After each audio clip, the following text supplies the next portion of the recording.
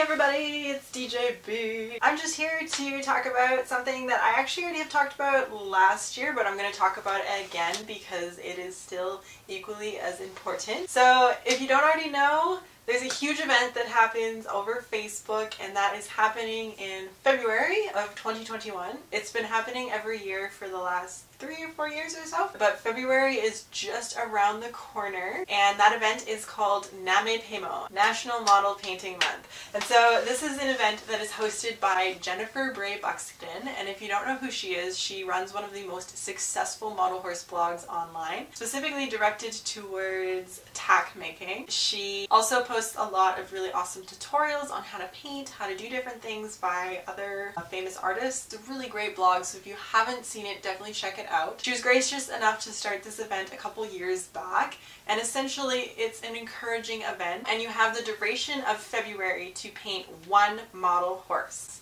You have to register before February 1st. I think the deadline in that sense is January 31st. There is a Facebook group that you can join. I will link that in the description below. It has all the rules and regulations, but you do have to sign up which includes giving away your personal information, uploading a picture of you and your model, uploading a picture of the reference and the goal you're setting for yourself. You have an optional $2 fee to pay. Now I highly recommend paying the $2 because it helps Jennifer out immensely with hosting this event on her own volunteered time, but also holds you accountable to finishing your model. Once registration is complete, you are locked in and that is the color that you have to paint the model or you don't finish your model essentially. So there's no obligation to finish. Obviously it is just a, an event to encourage painting, encourage learning, and encourage growing.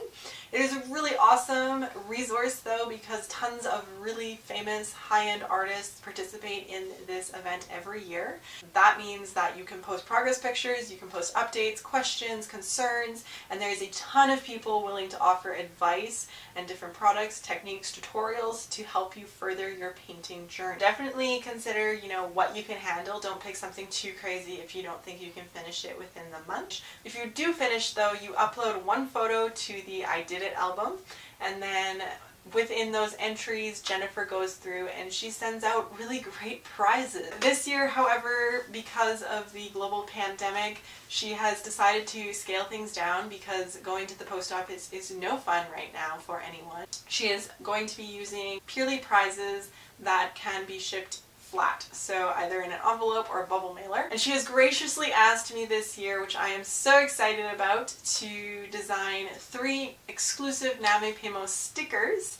So if you enter this year and you complete your horse and you are selected as one of the most improved or you've made an admirable piece or you've really tried and you've made progress, then you have the opportunity to win one of these stickers. So I'm really excited about that because I think they turned out super cute. They're not available to purchase, so you have to paint to win. It's, it's not necessarily for the prizes, the prizes are just a bonus. Every year Kylie Parks sculpts a prize medallion as well. So definitely check out the page, all of the extra rules and information is available there, but I definitely recommend you guys come out and join this year because 2021 I have designed the prizes, which I am so excited about. This year I will be participating and I'm painting this guy. Last year I joined and painted Davana, which a lot of you guys know, and Davana actually turned out to be one of my best paint jobs. So last year I was focusing on doing a solid color, but really well. This year I've had a lot of debate on what I should do, but I decided to do a drastic, so I've been working on it since the beginning of January.